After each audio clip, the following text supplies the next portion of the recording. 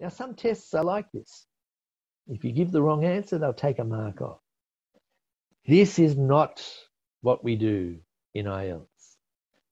My advice to you is to answer every question. Answer every question in the reading, answer every question in the listening.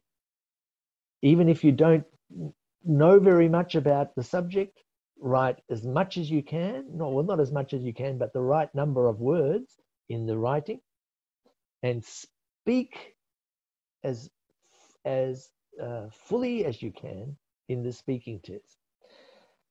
In the reading and listening, sometimes you will get to question number 35 and you'll have one minute left. That means you have five questions to answer. Just guess. True, true, true, true, true. That's what I would su- suggest because you won't have a mark taken away and you might just get a couple of extra correct answers. That's okay. That's test taking skills 101.